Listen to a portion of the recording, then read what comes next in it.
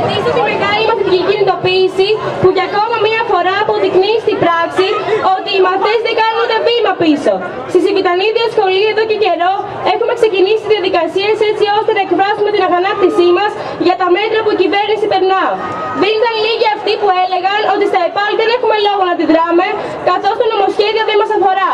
Παρ' όλα αυτά όμως, εμείς και αυτή τη χρονιά μπήκαμε σε ένα σχολείο στο οποίο τα κενά καλύφθηκαν το Δεκέμβρη και αντίστοιχα και τα βιβλία, σε ένα σχολείο στο οποίο πληρώνουμε ένα σκασμό λεφτά για τα αναλώσιμο των εργαστηρίων, σε ένα σχολείο στο οποίο μας παρουσιάζουν τη μαθητή ευκαιρία για χαρζηλίκη εμπειρία, αλλά τελικά είμαστε απλήρωτοι 6 μήνες. Σε ένα σχολείο όπου το περιεχόμενο γνώσεων είναι στήρος στο οποίο ετοιμάζουν έτοιμο φθηνό εργατικό δυναμικό. Και σαν να μην φτάνουν όλα αυτά, μας θερούν το δικαίωμα να φοιτήσουμε σε ΤΕΗ στην Αθήνα, καθώς τα μόνα που υπάρχουν πλέον είναι στην επαρχία, όπου το κόστος διαβίωσης είναι απογορευτικό για ένα πολύ μεγάλο μέρος των οικογενειών μας. Οι αλλαγές λοιπόν αυτές μας περιορίζουν τον αριθμό εισαγωγής, αφού το ποσοστό σε ΑΕΗ είναι 5%, ενώ στα ΤΕΗ τη Αθήνα είναι 20%. Ήταν 20%. Μόνο πέρσι, κάτω από δικές μας πιέσεις, αναγκάστηκαν να το αυξήσουν σε 10% για το Πανεπιστήμιο Δυτικής Αττικής. Είναι γεγονός ότι δεν τους νοιάζει η αγωνία μας, η πίεση και το άγχος μας, ότι δεν τους νοιάζει η κατάσταση στα σπίτια μας. Γι' αυτό λοιπόν οι μαθητές συντονιζόμαστε. Πειραματόζα τη κυβέρνηση δεν θα γίνουμε. Καλούμε τα άλλα σχολεία να συντονίσουν τον αγώνα τους, γιατί η πείρα έχει δείξει πως όλοι μαζί Είμαστε πιο δυνατοί γιατί ο οργανωμένος αγώνας τους τρομάζει. Απαιτούμε με αυτές τον ΕΠΑΛ το ποσοστό 10% της αγωγής στο Πανεπιστήμιο Δυτικής Αττικής και το ίδιο να ισχύσει σε όλα τα ΤΕΗ που θα συγχωνευτούμε πανεπιστήμια. Απαιτούμε δημόσιο και δωρεάν σχολείο, σχολείο να μορφώνει και όχι να εξοντώνει.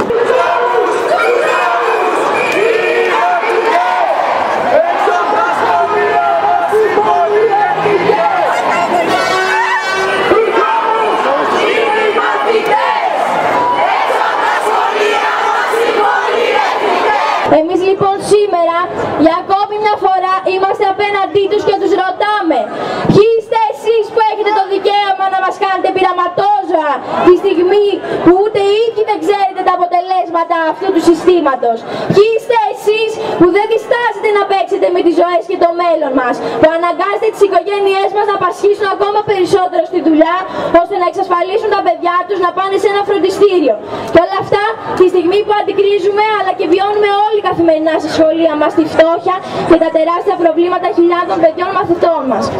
Εμείς έχουμε την επιλογή να αγωνιζόμαστε και αυτό κάνουμε. Και το έχουμε κάνει με χιλιάδες τρόπους ξεκάθαρα από την αρχή της φετινής χρονιάς. Δεν σταματάμε, δεν κάνουμε βήμα πίσω. Οργανωμένοι με τη Συντονιστική Επιτροπή Μαθητών συντονιστήκαμε και έτσι συνεχίζουμε. Γιατί δεν πρόκειται να δεχτούμε ποτέ να έχουμε τις ζωές μας στα χέρια τους. Φωνάζουμε το νομοσχέδιο να μην κατατεθεί. Θέλουμε σχολείο που να μορφώνει και όχι να εξοντώνει.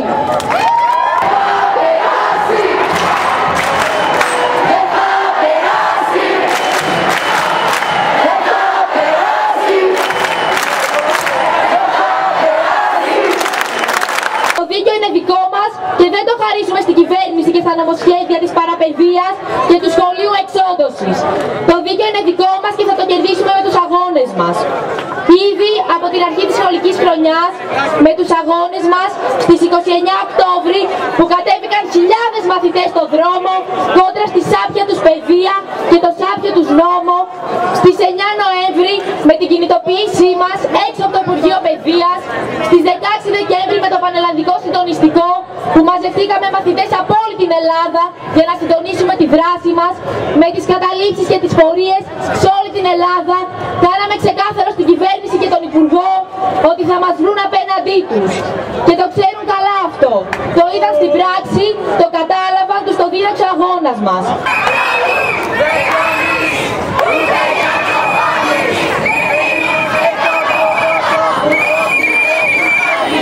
Χαιρετίζουμε από πλευράς μας τη μαθητική κινητοποίηση Από την αρχή της σχολικής χρονιάς, μαζί με εσάς τους μαθητές, είχαμε τοποθετηθεί και δηλώσαμε και στον Υπουργό ότι με αυτό το νομοσχέδιο συνεχίζεται ο ατέλειωτος εξεταστικός μαραθώνιος σε ένα σχολείο αρένα ανταγωνισμού.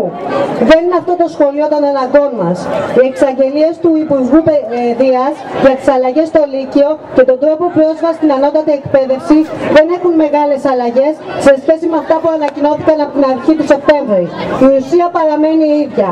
Το Λύκειο που ετοιμάζει η κυβέρνηση δεν έχει καμιά σχέση με τις ανάγκες των παιδιών μας. Επιπλέον αντιμετωπίζει τους μαθητές της Δευτέρας Λυκείου σαν πειραματόζωα και μεγαλώνει το άγχος των ίδιων των οικογενειών.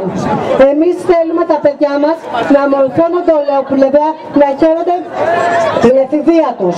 Όμως η κυβέρνηση κάνει ένα σχολείο φροντιστήριο και σταματά τη γενική μόρφωση στη Β' Λυκείου όταν υπάρχουν τόσα πολλά που πρέπει τα παιδιά μας να γνωρίσουν ανεξάρτητα από το επάγγελμα που ακολουθούν. Εμείς θέλουμε να σταματήσει εδώ και τώρα η οικονομική αιμορραγία όλων των γονιών από την παραπαιδεία και τα φροντιστήρια. Όμως η πείρα δείχνει ότι η μετατροπή του Λυκείου σε προθάλαμο εξετάσεων σπρώχνει ακόμα περισσότερο στα φροντιστήρια. Το Λύκειο που θέλει να φτιάξει η κυβέρνηση ΣΥΡΙΖΑ θα κοιτάει ακόμα περισσότερο και μαθητές και εμάς τους γονιούς στην τσέπη, χωρίζοντας και κατηγοριοποιώντας τους μαθητές. Όσο δε για την πάταξη της παραπαιδείας που κάνει λόγο ο κύριος Γαβρόγλου και τα χρήματα που δαπανά η απανοτά, ε, να, να, σκεφτεί τα χρήματα που ε, χρησιμοποιεί απανοτά στα μνημόνια, η λαϊκή οικογένεια και τα φροντιστήρια και το ενδιαφέρον είναι εντελώς, μα εντελώς υποκριτικό. Είναι μάλιστα χαρακτηριστικό ότι οι μεγάλες αλυσίδες φροντιστήριων πανηγυρίζουν για τις προτάσεις της κυβέρνησης για το Λύκειο και βλέπουν να αυξάνονται τα πελατάκια τους.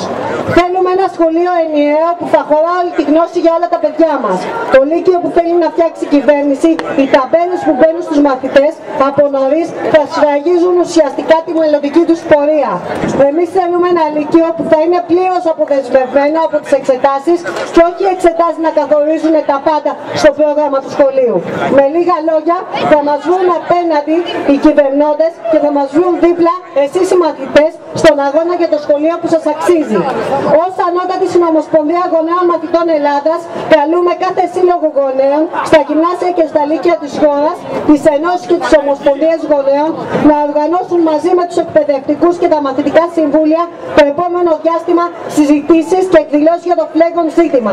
Να στηρίξουν στην πράξη των αγώνες των μαθητών ουσιαστικά των παιδιών μας που έχουν ανησυχίες και θέλουν τόσα πολλά να γνωρίσουν και να μάθουν ανεξάρτητα από το επάγγελμα που θα ακολουθήσουν. Συνεχίζουμε αγωνιστικά μαζί σας.